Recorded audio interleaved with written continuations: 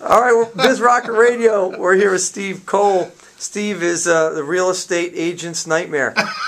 He's he is he is bringing he is bringing the house to the real estate market and changing things. So tell us a little bit about what your business does, Steve. Uh, well, honestly, we're in business to look out for the consumer to make sure they can make a good decision when buying their house, which we understand to be their probably their most important asset they'll purchase over their lifetime. And how are you different than your basic real estate agent closing attorney combo?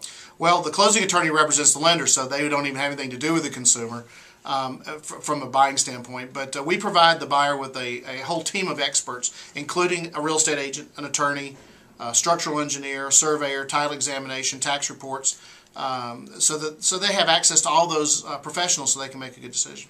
And we understand that the, the payment on that is covered really from the, the sale of the property anyways. It's nothing that you're taking extra checks from the client. Is that right?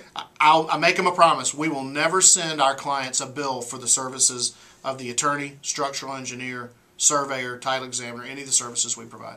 All right. Well, good stuff. It was great to have you on, and uh, we'll look forward to hearing from you again next year, see how your business is going. Sounds good. Thanks for having me. All right.